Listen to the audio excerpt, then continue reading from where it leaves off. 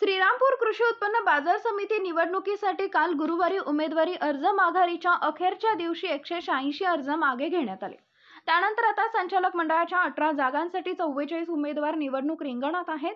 निवडणुकीत महसूल मंत्री राधाकृष्ण विखे पाटील माजी आमदार भानुदास मुरकुटे व माजी उपनगराध्यक्ष करण ससाणे यांची युती होऊन श्रीरामपूर सहकार विकास पॅनल तर विरोधी आमदार लहू कानडे राष्ट्रवादी काँग्रेसचे प्रदेश सरचिटणीस अविनाश अधिक शेतकरी संघटनेचे ॲडव्होकेट अजित काळे आणि शिवसेना ठाकरे गट सचिन बडधे यांच्या नेतृत्वाखाली महाविकास आघाडीच्या शेतकरी विकास आघाडी यांच्यात लढत होत आहे कृषी उत्पन्न बाजार समितीच्या संचालक मंडळाच्या अठरा जागांसाठी तीस एप्रिल दोन हजार तेवीस रोजी मतदान होत आहे निवडणुकीसाठी एकूण दोनशे एकोणचाळीस उमेदवारी अर्ज दाखल झाले.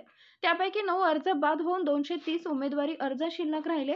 त्यातील काल अर्ज माघारीच्या अखेरच्या दिवशी एकशे शहाऐंशी उमेदवारी अर्ज मागे घेण्यात आले. त्यामुळे आता दोन पॅनलचे मिळून छत्तीस व आठ अपक्ष असे मिळून चव्वेचाळीस उमेदवार निवडणूक रिंगणात आहेत. तीस एप्रिल दोन हजार तेवीस रोजी सकाळी आठ ते चार या वेळेत मतदान होऊन त्याच दिवशी मतमोजणी होणार आहे. वृत्तसंकलन विभाग विजन प्लस न्यूज श्रीरामपूर.